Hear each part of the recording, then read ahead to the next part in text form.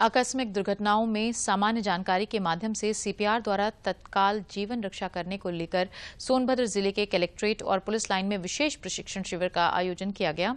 चिकित्सा विज्ञान के विषय विशेषज्ञ डॉ शिव शक्ति द्विवेदी ने डेमो के माध्यम से उपस्थित सभी अधिकारियों और कर्मचारियों को सीपीआर यानी कार्डियो पल्मोनरी रेस्टेशन के बारे में विस्तार से जानकारी दी। उन्होंने बताया कि आम तौर पर आपातकालीन स्थिति में जब किसी व्यक्ति की धड़कन या सांस रुक जाती है, तब सीपीआर का प्रयोग किया जाता है, जिससे बेहोश व्यक्ति को साँसें दी जाती हैं, जिससे फेफड़ों को ऑक्सीजन मिलती है और दिल को ऑक्सीजन वाला खून संचारित होता रहता है।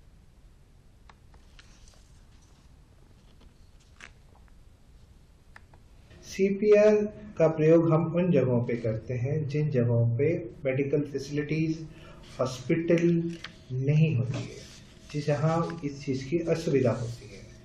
सपोज़ आप सड़क पे हैं, आप शॉपिंग मॉल में हैं, आप इमरजेंसी में कहीं बाहर गए हुए हैं, आप बस स्टॉप पे हैं, आप ऑफ़िस में हैं, अगर आप किसी व्यक्ति को गिरते हुए देखते हैं, आप उस व्यक्ति के पास जाते हैं, आप ऑब्ज़र्व करते हैं कि उस व्यक्ति की तरफ़ से कोई प्रतिक्रिया नहीं होती है।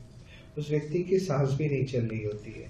आप ये सब देख करके घबरा जाते हैं। घबरा करके आप मदद के लिए चारों तरफ़ देखते हैं। लेकिन आपको पता है कि सीपीआर एक ऐसी तकनीक है